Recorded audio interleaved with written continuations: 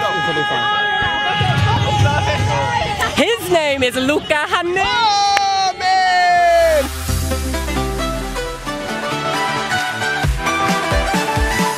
How are you? So good to see you. Are you feeling better? Oh, I'm feeling so good. I'm so sorry that we that we cancelled the interview. I was like, no, maybe he's angry. No, oh, but I would never hold a grudge against you. I had to.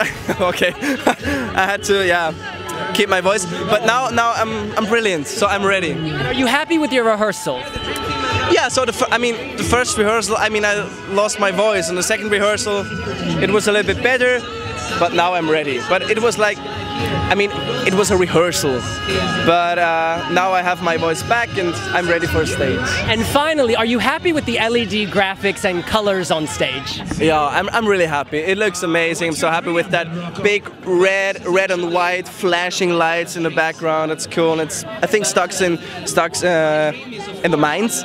And now we have to do a lot of camera things again. So I have to. On the second rehearsal, I was like, okay, where is this left camera? I was like, when she go, I was like, okay, searching some cameras. But yeah, it's gonna be good. Luca Hänni, thank you so much.